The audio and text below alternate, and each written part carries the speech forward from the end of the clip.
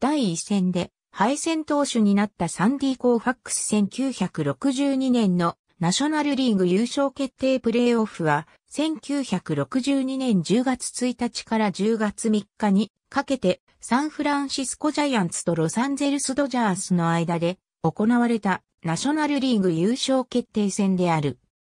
ニューヨークメッツとヒューストンコルト 45S が加わり、162試合制で迎えた最初のシーズンは7月に首位に立ったドジャースをジャイアンツが追走する展開が続き、9月15日終了時点でドジャースはジャイアンツに4ゲーム差をつけていたが、ドジャースは翌日からの残り13試合を3勝10敗と大きく負け越し、最終戦でジャイアンツに101勝61敗で並ばれ、3試合制のプレーオフが実施されることになった。なお、1969年より畜生が導入されたため、3試合制のプレーオフ開催はこの年が最後となっている。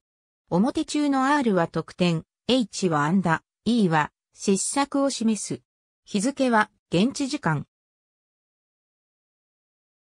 カリフォルニア州サンフランシスコキャンドルスティックパーク勝ちビリー・ピアース敗サンディ・コーファックス本塁打 LAD なし SFG ウィリー・メイズ48号2ラン49号ソロ、ジム・ダベンポート14号ソロ、オーランド・セペダ35号ソロ観客動員数32,652人、試合時間2時間39分勝、スタン・ウィリアムズ敗、ボビー・ボーリン観客動員数25,321人、試合時間4時間18分勝、ドン・ラーセン敗、エド・ローバック S、ビリー・ピアース本塁打、SFG なし LAD、トミー・デイビス27号2ラン観客動員数45,693人、試合時間3時間00分。ありがとうございます。